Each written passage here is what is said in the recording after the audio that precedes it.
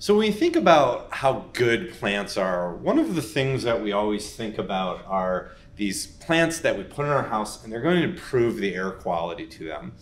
Well, one thing I'd like to kind of burst your bubble with is a lot of the studies that have shown kind of indoor air improvements based on these house plants really haven't been that good, well done studies. In fact, most of our good studies have showed that air quality doesn't really depend a lot on houseplants. It depends on things like making sure you um, you clean your filters and your furnaces, or even more to the matter, to kind of the kind of larger societal issues that we have with smog reduction that we need to do, especially in our area here in Utah Valley. So when we think about eudicots, which Eu means good, we should really think about of them and not necessarily these what they're doing for us, but kind of what that actually means when we talk about a good dicot. And even beyond that, though, many of the eudicots out there are really important economically for us. So, really, in every sense of the word, these groups of dicots that we'll be talking about today are very good. So, the eudicots are our final group that we're going to really take up. And so far in our angiosperms, we've talked about these early angiosperms, such as the magnolias and the ANA grades, as well as the monocots. And the eudicots are kind of the rest of the big clades here. This is by far the largest group of angiosperms, and of course, angiosperms are the largest group of plants. And they compose about 70% of all angiosperms um, on total. And we distinguish them from being different than dicots because if you remember, the ANA grade, the magnolias, are have those two cotyledons on them. Where somewhere in here on our phylogeny, especially going up this way to the monocots, they lost one of those cotyledons there. And so now we see again a whole group that's diversified with those two those two cotyledons. So these are dicots. But we want to distinguish them to make a good clade with a common ancestor as the eudicots. The eudicots consist of four main groups themselves that we'll talk about. This kind of really weird order here, the Ceratophyllales, which is an entirely aquatic group.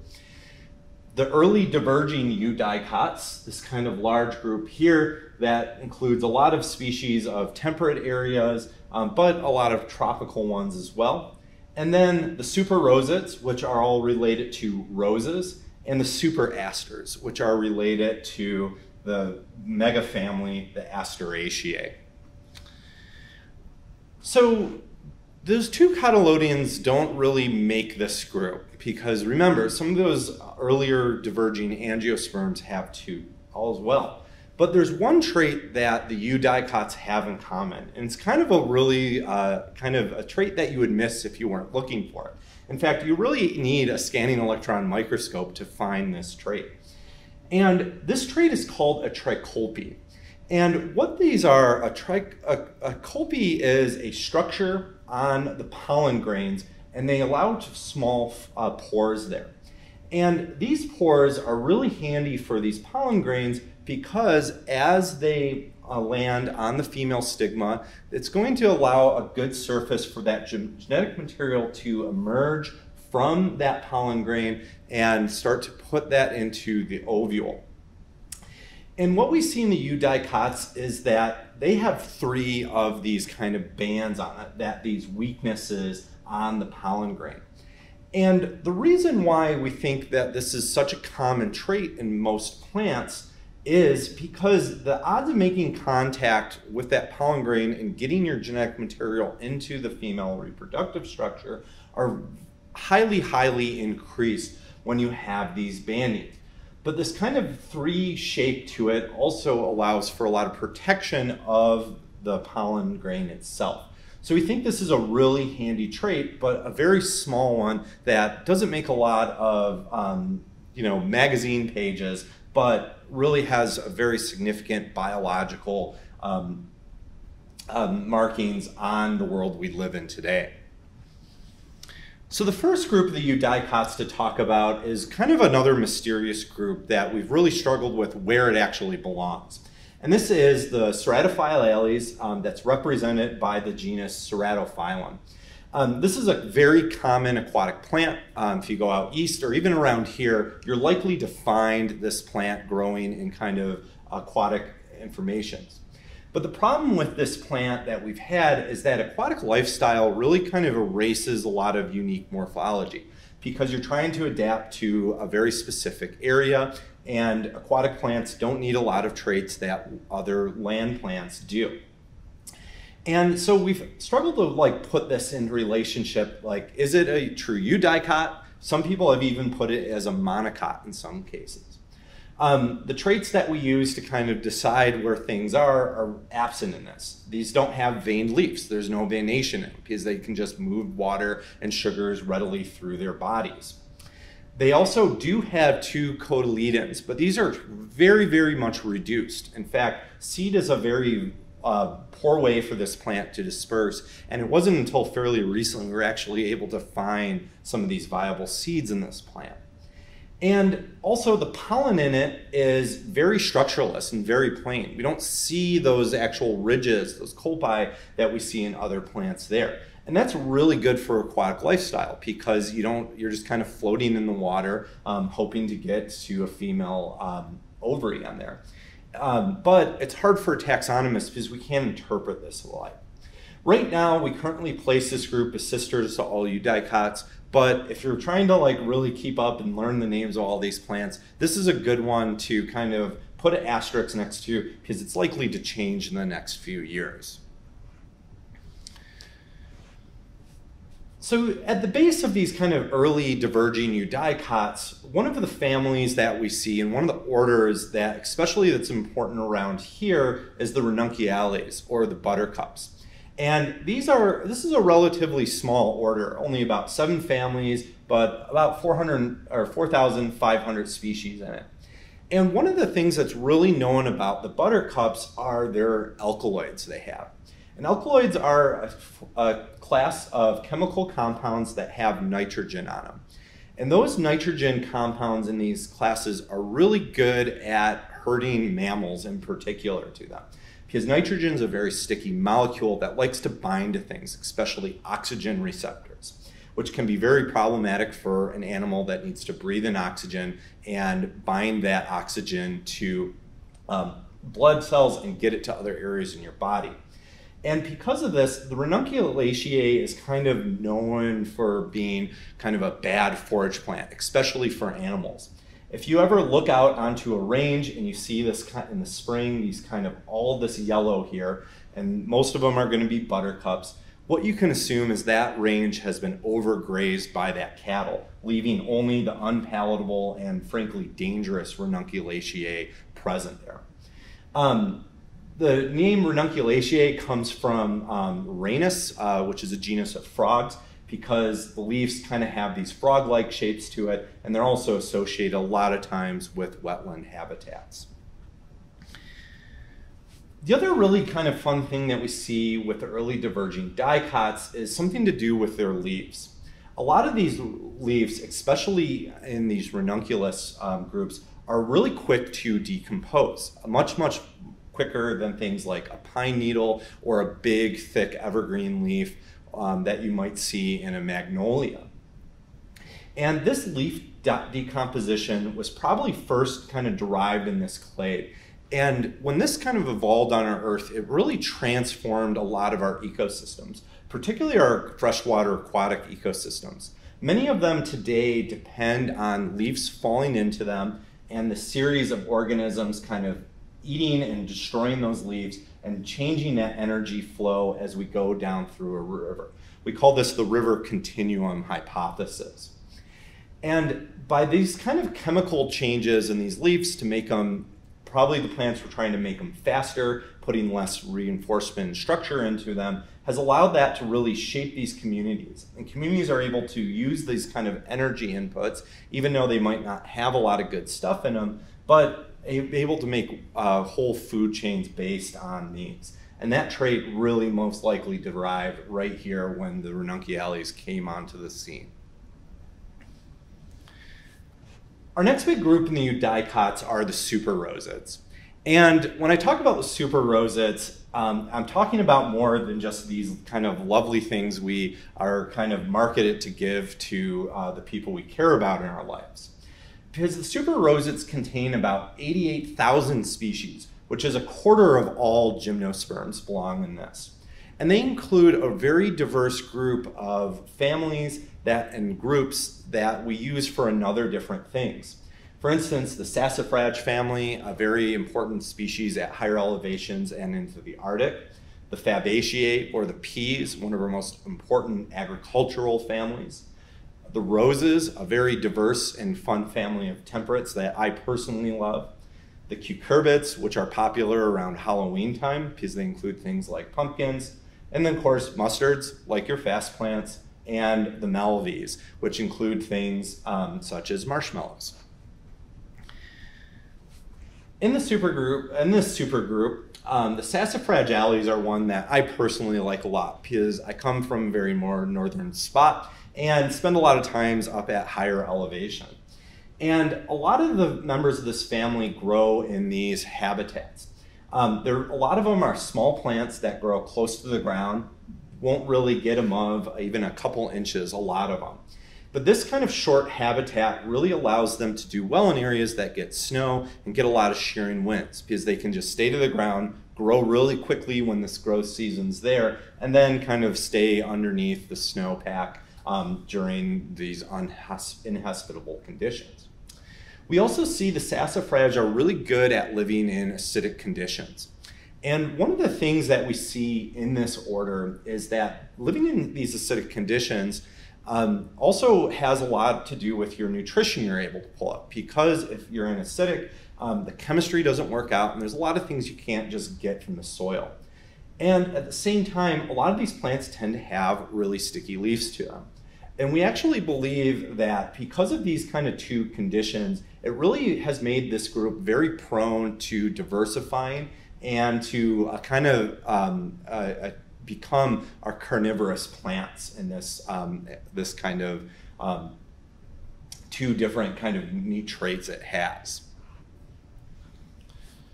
But probably economically to us, the most important group in the super roses is the Fabaceae. Um, they're the third largest family of plants by species, over 19,000 or so. Depending on how you chop it up, probably only the orchids and the asters are more diverse than this group.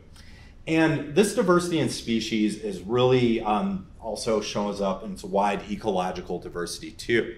Um, for instance, the acacias are common plants in a lot of areas of sub-Saharan and sub-Saharan Africa, as well as here in the American West. We have quite a few of our trees are of the Fabaceae. And they also have incredibly diverse morphology, everything from vines to shrubs to really pretty massive trees in some cases. But really, where they um, really kind of shine is their importance in agriculture. Things like soy, beans, alfalfa, and a lot of our tropical plants like tamarind come from this big family. And this big family is known for, especially one of their kind of neat flower shape they have, where they have this kind of big banner here and then this kind of sac that holds all their reproduction stuff in it. And you can just imagine the joy of a bumblebee flying in and getting trying to get to the nectar source held way back here in the calyx. Another interesting thing about the Fabaceae that really is important for our agriculture system is that many members of the Fabaceae are also able to fix nitrogen in the soil. So most of the time in our ecosystem, nitrogen is unavailable because it's in a triple bond with itself um, in locked away forms. But there's a lot of bacteria that can actually break that bond and turn that nitrogen into a biologically available compound. And a lot of our um, Fabaceae, especially some of our agricultural plants, are able to do this. They're able to store that bacteria in these little nodules here. And you can see that those nodules have a little red pigment to it. And that's where that kind of actual nitrogen fixation is occurring here. Um, during um, kind of the reconstruction during in the southeast United States and really into recent times, agriculture has kind of decimated that area and really drained those soils of a lot of important nutrients. And one of the big contributions um, to science uh, that George Washington Carver did was he realized that we needed a way to kind of fix these soils, especially from this kind of poor cotton management that we had. And he promoted the use of using peanuts in order to do that because they had a lot of things you can make products out of them as well as they had this nitrogen fixing capacity. In fact, a lot of agriculture practices today during crop rotation usually put in a Fabaceae member in order to kind of reinvigorate um, that soil. And of course, the super rosids are named after the Rosaceae. Um, this really big family um, that isn't as big as some other families, but about 5,000 species. But I think they punch way above their weight because they're really iconic. If you think about all the members of the Rosaceae, they're things like apples, roses, strawberries, pears, raspberries, all these wonderful fruits and things that we cultivate and give to each other. In fact, my favorite plant, Rubus parviflorus, um, the thimbleberry, um, is in this group. And the Rosaceae have been a, a, really important temperate crop for a long time, really since global trade even started. Um, a really good example of this is the domestication of apples. Apples come from a, a combination of a couple species that are found in kind of Central Asia. And during early trade with Asia and Europe along the Silk Road route, these kind of wild apples start to get carried around, especially thinking about things that were tart or sweet ones that had that crisp texture you like. And during this extensive trading, these plants were getting moved as well. As traders would kind of stop in, find things, move them along. And we think that kind of the origin of our modern apples kind of came across when we had this kind of combination of these new traits that ended up somewhere in kind of the Balkans or the Middle East area. And once these were these good varieties were found, we started grafting them and moving them around even more and extensively breeding them. And eventually it would bring us to kind of our present day apple situation that we have, with some stops of making apple cider along the way. The Cucurbitaceae um, are a really fascinating group and one that I'm personally interested in, and I'm trying to grow a lot of new varieties of this family today. But they include all these kind of big gourd kind of stuff. Things like cucumbers, squashes, watermelons, pumpkins, uh, honeydews, everything kind of fits into there. These have a lot of tremendous economic impact. In fact, they're the staple food of a lot of cultures and people around the world. But I really think the really where they shine is their cultural importance. If you just look around during October, um, around here, you can see there's pumpkins displayed everywhere because they have a lot of significant cultural meanings to us. And this cultural meaning also was more of kind of a vital survival point for a lot of our indigenous cultures, especially in North America. The Cucurbitaceae are a really important member of kind of traditional agriculture settings. Especially, they become one of what we call the three sisters where we had these um, native agriculture systems where they would grow together beans, squash, the cucurbitae, and corn of the poaceae. And the idea with these systems was is you could kind of have this kind of agricultural system where the cucurbits would grow low and maybe um, and kind of keep out weeds that would come in and invade these things the beans would be able to grow up the stalks on the corn, and the corn, of course, would provide this kind of um, overall structure for these plants to grow in. And there's been a lot of interest in kind of this agriculture system too. Um, in fact, even today you can go to most seed companies and they will sell you a Three Sisters garden in a can. The next big order we have in the eudicots, or the next big clade, is the superasterids. And if you thought the super rosids were a big group, they the super asterids really put that group to shame. Um, there's over 120,000 species here, and by far the biggest uh, related clade within the eudicots, and over 20 orders. And in this, we have some really iconic groups, such as the Ericales, which include things like blueberries and heaths, as well as some carnivorous plants. We also have the lamiales, which is personal favorite of mine that include the monkey flowers as well as mints. the solanales, which include things like eggplant and tomatoes, as well as a host of other native species in our area. And then the asterales, which include um, our iconic sunflowers and other uh, related species to it. And I'm going to highlight only a few of these kind of groups within the super asterids. Um, and I'm not going to lie, I kind of picked and choose my favorite here.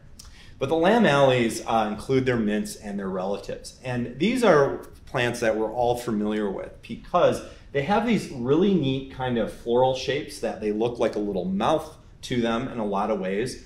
And these kind of mouths, these faced flowers, are really just five petals all fused into a tube. Interestingly, all the members of the Lamiales have opposite leaves. So their leaves grow out just dichotomically opposed to each other instead of what we would call alternate, where they're ranked up the stem. Um, again, these include lots of things like monkey flowers, which I study, snapdragons, oleanders, and begonias are all in this kind of really large order. But the reason why we know mints so well isn't just because they have these neat little flowers, um, but we know them because they have secondary metabolites. So they produce these compounds that aren't necessarily important for their basic physiological functions, but they give the plants some kind of ecological adaptations that allow them to be successful. And these products that they produce are generally edible for us, and they're also very aromatic. We can smell them. Next time you see some mints, grab a whole handful, crush them up, and just smell them, and you'll clean out your airways really fast there. And what you're smelling is these little packets of concentrated liquid in the plant. And these, this liquid is usually hydrophobic and also extremely volatile. So it's easy to evaporate and give that smell that we see. Probably the most famous secondary compound that's produced is menthol or mint. And what this um, product does, though, that's kind of interesting and why it has this kind of cooling effect is that it interferes with cold receptors that mammals have. And this interference kind of changes how you're perceiving or how those cold receptors are actually perceiving things. And this works a lot like a lot of capsicum does or things like that that you would get in a pepper. Um, but it's at a little less of a higher dosage, and so um, we use these kind of secondary metabolites quite a bit. But of course, they don't produce it for us, and these secondary metabolites are very important in interactions of pollinators and herbivores too. Um, a lot of these secondary metabolites are kind of inducers to get pollinators to come to their flowers and to uh, pollinate them. And slight changes in the chemical compound can change what pollinator is coming to you. So it's often thought of as a source of speciation, one of the reasons why there's so many species in the lamiales.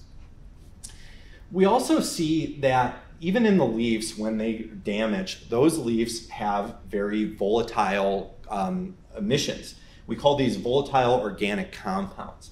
And these compounds, once they get released, can get picked up not just by you and I, but a whole slew of other things. Herbivores can kind of see that and say, that's a well-defended plant because it smells good. I'm going to stay away from it.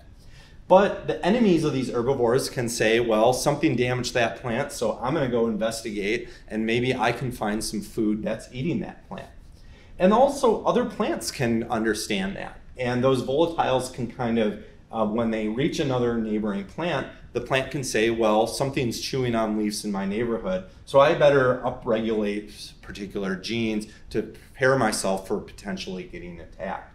And so these organic, volatile organic compounds um, really are kind of an exciting new field that a lot of people are looking at, especially their ecological interactions and possibly their use at controlling some of the pest issues we have in some of our agriculture systems.